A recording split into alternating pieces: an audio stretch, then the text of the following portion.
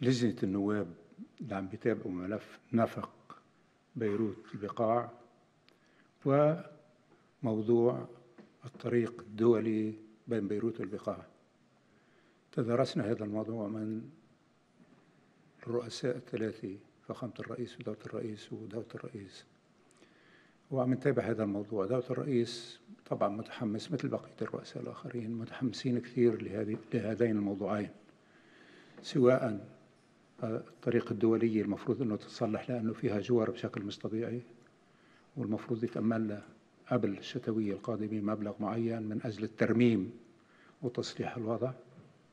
والموضوع الثاني اللي هو النفق اللي بده يكون بين من نهر بيروت حتى البقاع. نفق مرور سيارات وقطار.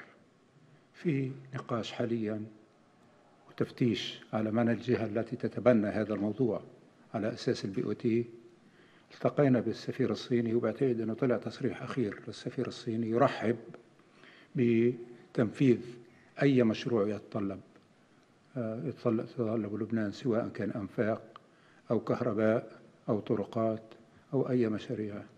مشكورين الحقيقة إخواننا الصينيين. وممكن يعني يكون في مجالات أخرى يعني في أي محل يعني بالعالم بحب يعني يقدم على مساعدة لبنان فيما يتعلق على شرط نظام ال BOT. يعني نحن كمان بنكون شاكرين.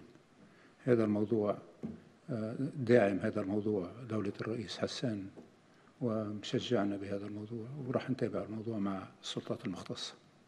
شكرا.